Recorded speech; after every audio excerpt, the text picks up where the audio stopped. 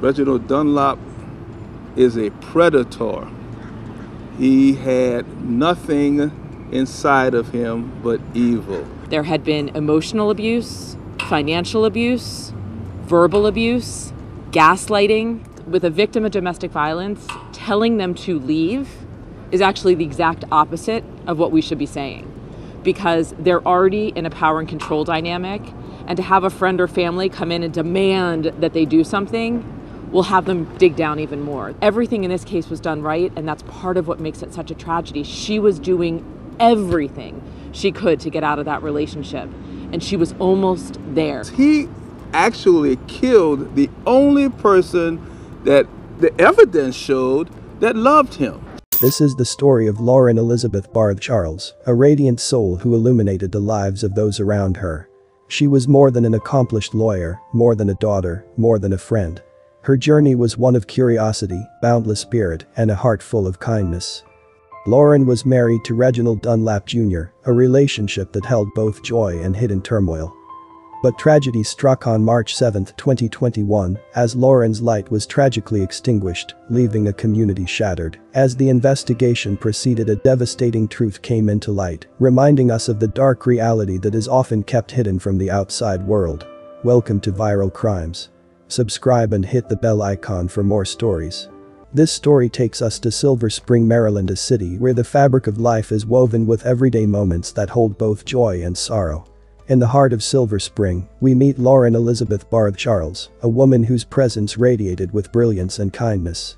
Lauren was not merely a lawyer, she was a beacon of light that illuminated the lives of those around her. Her professional journey led her to the bustling heart of Washington, D.C., where she flourished as an attorney and project manager for the Justice Department. But her story extended beyond the titles and degrees. Lauren's personality was a symphony of traits, a blend of kindness, thoughtfulness, and an ever-curious spirit. Her warmth could light up a room, her laughter was an infectious melody, and her adventurous spirit led her to explore the world through pages of books and the flavors of global cuisines. She was not just a friend, she was a confidant, a guiding light, and a pillar of strength to those who had the privilege of knowing her.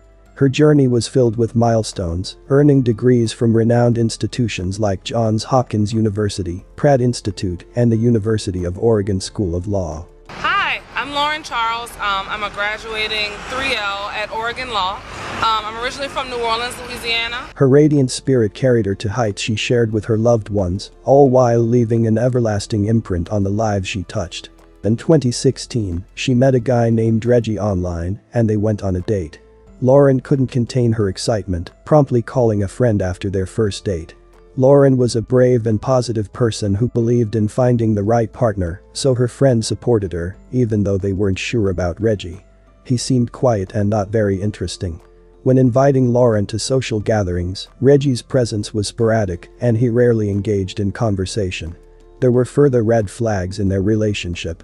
Reggie resided with his mother, and Lauren never had the opportunity to meet her. She could only visit Reggie at her own residence. The stability of Reggie's employment remained uncertain, and Lauren discovered that the address he had provided led to an empty lot during a surprise visit. Even though Lauren's friends had doubts, they wanted her to be happy, so they didn't interfere when Lauren and Reggie got married in 2019.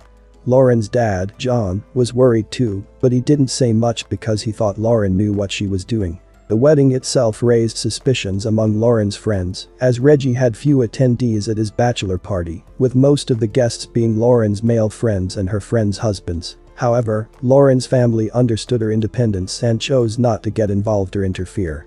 But in 2020, during the pandemic, Lauren realized that Reggie was taking advantage of her. He was manipulating her, isolating her from her friends, and making her feel like he was the only way she could have children. He also did things like putting up wedding photos around the house when Lauren didn't want them there. Lauren even started fearing for her safety and began sleeping with a knife in her room and buying mace. In October 2020, Lauren confided in a friend, revealing Reggie's infidelity and her intention to leave him.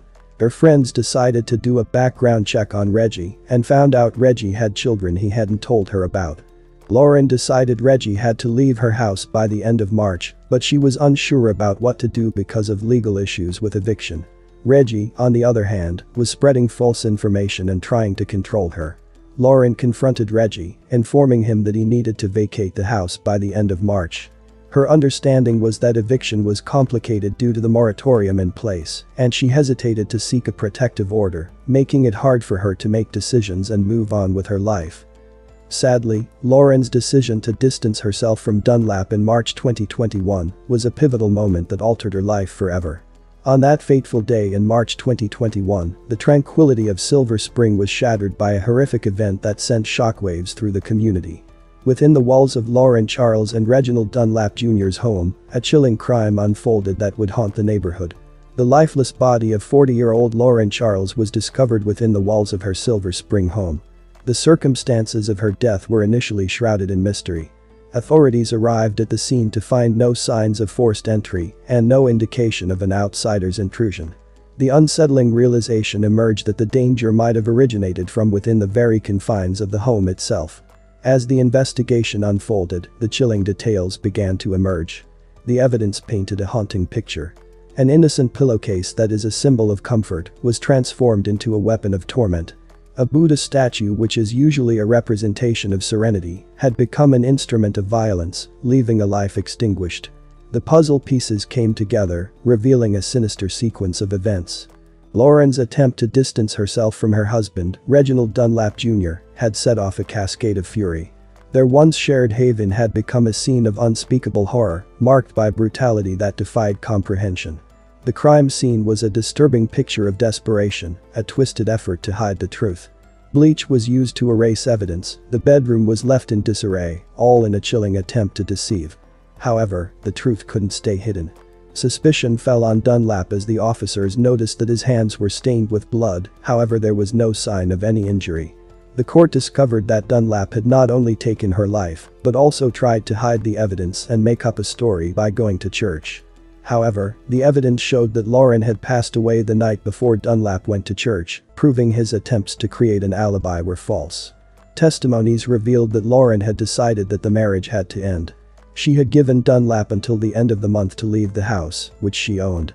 Her family and friends had seen the signs of trouble and had been supporting her as she moved towards ending the relationship. Inside the courtroom, things got intense as lawyers tried to show what happened. The prosecution team told a scary story of what went down. It was a story that made everyone remember how scared Lauren must have felt in the house that day. The bad things that happened were hidden until that extreme evil day, and soon everything changed. Reggie was arrested and later found guilty of his wife's murder. Debbie Feinstein, a prosecutor from the Montgomery County Special Victims Division, spoke about the important role that friends and family play in such situations. The best kind of help that you can provide them is to wrap support around them.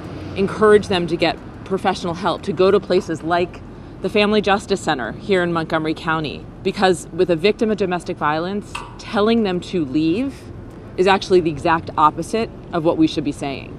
Because they're already in a power and control dynamic, and to have a friend or family come in and demand that they do something will have them dig down even more. She mentioned the different types of abuse Lauren had suffered emotional, financial, verbal, and gaslighting, where Dunlap would make her believe things that weren't true. Later on, the judge made a decision. The evil man, Reginald Dunlap Jr., got in trouble for the murder of Lauren. The judge said he was wrong and had to pay for what he did. People in the town were a mix of sad and glad when they heard this news. It didn't bring Lauren back, but it felt like justice was finally being done. After all this was over, people talked to Lauren's friends and family. They told stories about Lauren and how great she was. It was really sad because her life was taken away when she had so much more to give. Her dad, John Charles, was really sad. He talked about how a dark force, like a bad thing, took Lauren away from them. He wished it never happened. The heartbroken father has a message for everyone. He wants families and friends to step in when they see someone struggling to face the truth in tough situations. John Charles Jr. spoke out after a court found Reginald Dunlap Jr. guilty of killing his daughter Lauren Charles. John Charles Jr. described Dunlap as a dangerous person, saying that he was full of evil. Reginald Dunlap is a predator. He had nothing inside of him but evil. He couldn't believe that Dunlap could do something so terrible to the one person who truly cared about him. A Silver Spring man is set to spend 55 years in prison all for murdering his wife. This is Reginald Dunlap. He's 45 years old. A jury found him guilty back in March. Now, prosecutors say he killed his wife, Lauren Charles, back in 2021.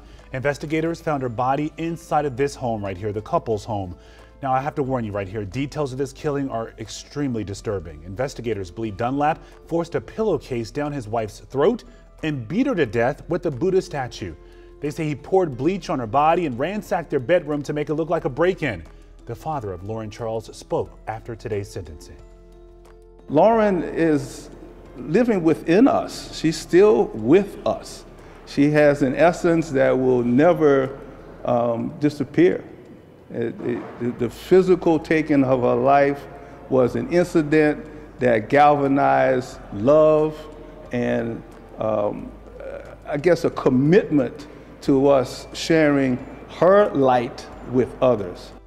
The story of Lauren Charles is a painful reminder that tragic events like these shouldn't happen. It's a stark lesson in how domestic violence can rob someone of their life, potential, and happiness. What occurred to her is a heart-wrenching reminder that danger can hide behind closed doors, making it even more crucial to be aware and take action. Could this tragedy have been prevented? It's a haunting question that lingers. Signs were there, noticed by loved ones, but abusive relationships often trap victims in a web of control. However, more awareness and intervention might have made a difference. Her family, friends, and the community are left grappling with a profound loss. Memories of her laughter and warmth are now cherished treasures. But amidst the tragedy, there's a call to stand up against abuse. It's a call to be watchful, to support those trapped in toxic relationships, and to create an environment where victims can seek help without fear. May her family continue to heal, and may they find peace that has been snatched from them. My condolences to her friends and family. Thanks for watching and I will see you in the next video.